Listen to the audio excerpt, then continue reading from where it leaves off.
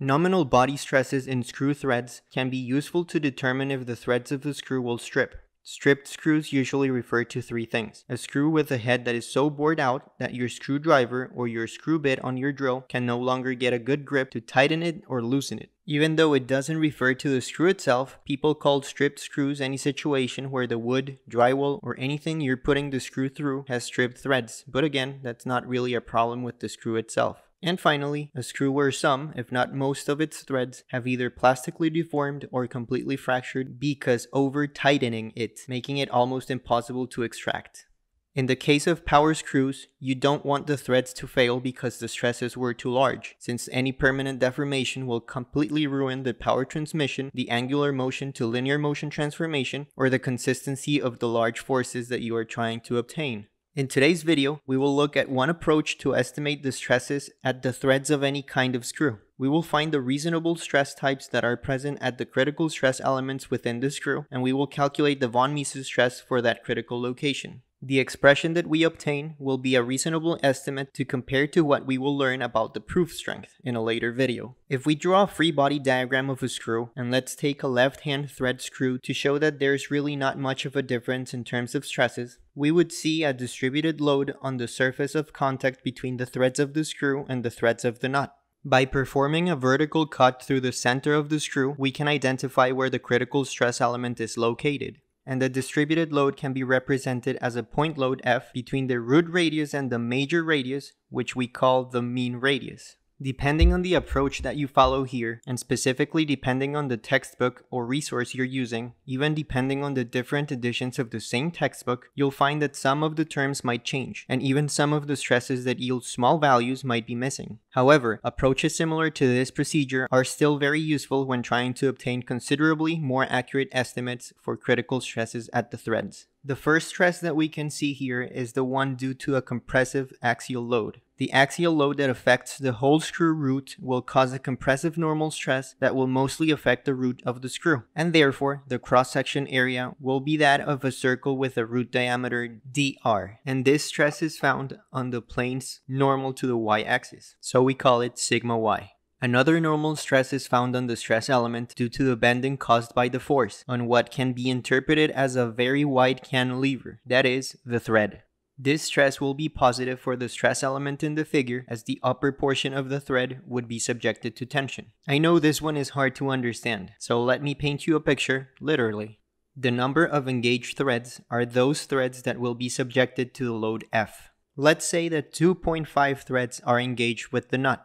If we unfold the engaged threads so that they're not in a spiral, but they look as a straight prism, the root of the screw would be the wall.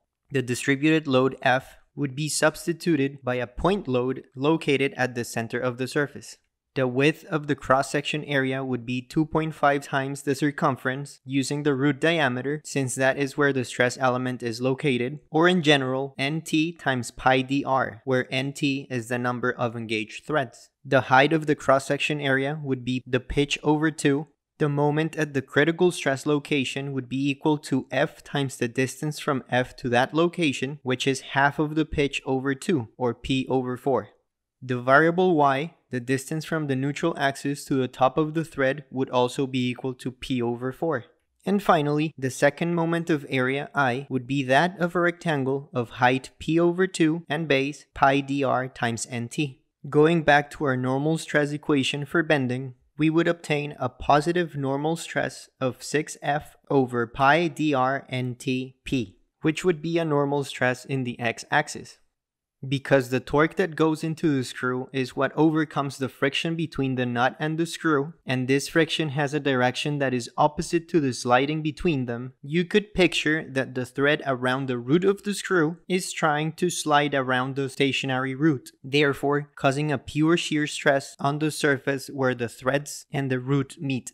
This tangential shear force would be equal to the torque over the root radius, or root diameter over 2, and the area parallel to the tangential shear forces that cause the shearing stress would be the shaded area that has the same dimensions as the rectangle that we used for the bending.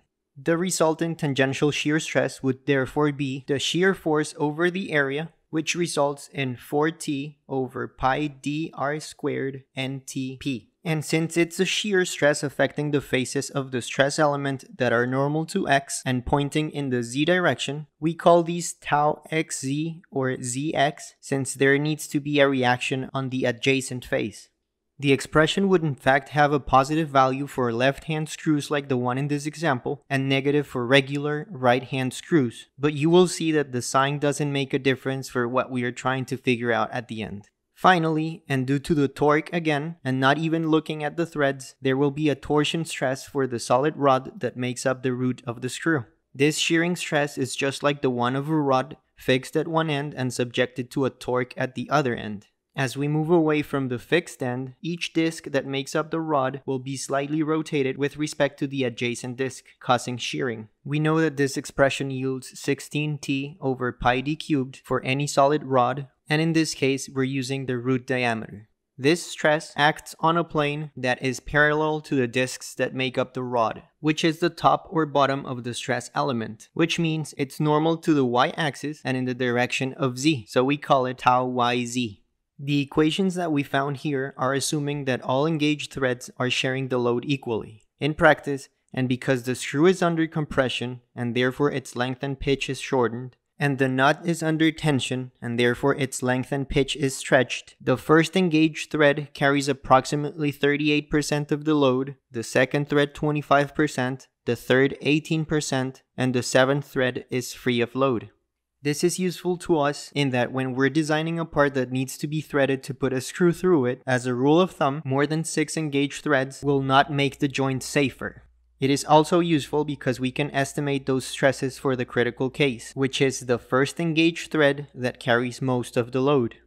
The expressions that depended on the number of engaged threads, sigma x and tau zx, could be modified to have 38% of the force and 38% of the torque with nt equal to 1, one thread. This would only be true for when the number of engaged threads are 6 or more. To put all of these stresses together, we use the von Mises stress. Now, we've done the process for writing the von Mises stress in terms of the principal stresses, sigma 1, sigma 2, and sigma 3. The difference here with what we've done so far is that this stress element is in three dimensions and four out of the six possible stresses do exist. Therefore, one of those three principal stresses will no longer be zero, like we've been used to.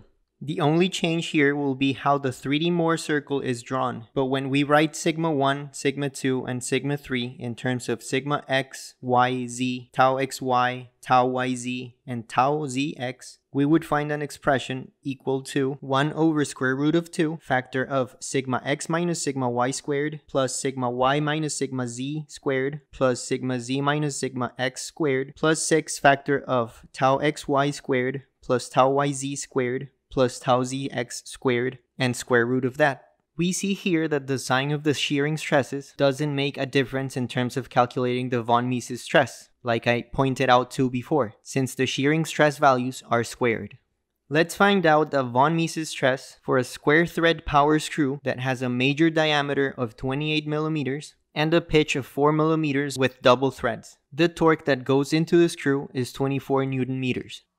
The first thing to know is that the force that comes out of the power screw can be calculated using what we learned during the last main video and the example videos that followed, links below. So I will not do that here today. But if we know what the collar diameter and friction coefficients are, we would be able to use that expression to calculate the output load F, which is the load that the power screw could lift.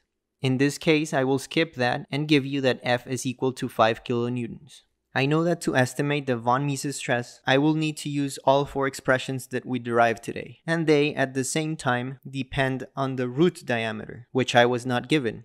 From a simple drawing of the screw, I would find that the root diameter is 24 millimeters. With that information and the expressions we derived today in terms of the force, torque, root diameter, and pitch, I would find that the values for sigma x, sigma y, tau yz, and tau zx are 37.8, minus 11.1, 8.84, and 5.04 megapascals respectively. Substituting these values in the von Mises expression above would give me a value of 47.8 megapascals. This is the stress that we will later compare to the properties of the material. As I mentioned at the beginning, for screws, we usually don't use a fracture strength or a yield strength value. In a couple of videos from now, we will look at what the proof strength means and how to look it up and use that property to calculate a factor of safety for this and other applications with screw elements. In the next video, we will look at fastener stiffness and member stiffness, two concepts that will allow us to calculate forces and torques for screws that are meant as non-permanent joints. Thanks for watching.